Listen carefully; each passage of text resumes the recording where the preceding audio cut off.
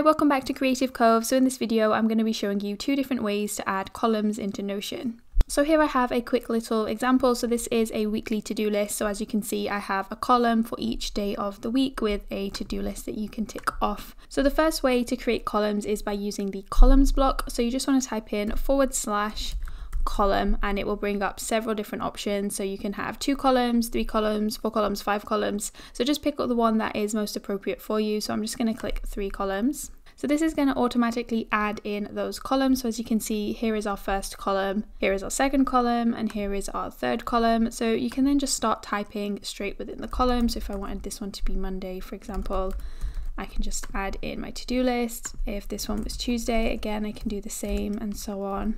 You can also drag and drop pre-existing blocks into these columns. So for example, if I had a to-do list down here, so for example, I could just grab this block and just put it into here if I want to. You can also use these bars here that appear at the side to change the sizing of the column as you can see. So I find this method of creating columns quite handy if you're just setting up your space and you need to add columns right at the start. But the other way that I have to show you is more useful if you've already got various blocks within your space and you want to easily turn them into columns. So just as an example, I have these text properties here which show each day of the week. So let's say I want to organize these into columns just like the weekly to-do list above. So what is a quicker way to do that? So a quick way to turn these into columns is to grab these six little dots at the side and then drag the property all the way to the side until you see this little blue bar appear.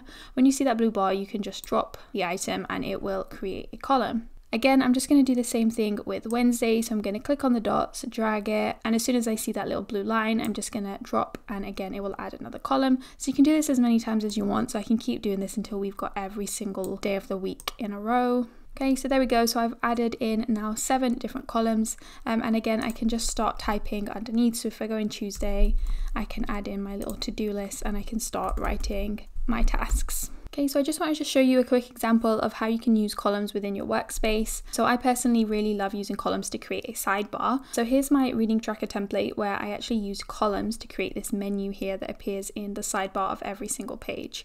Um, so it's an easy way to navigate between the pages. So for example, if I click on this page, as you can see, we're now on a different page with different information, but this sidebar still appears on every single page. Um, so as I say, I created that using columns. And that's it. If you did find this video useful, please give the video a thumbs up and you can also subscribe to the channel. You can also check out my pre-made Notion templates like this reading tracker on my store. The link will be in the description box below.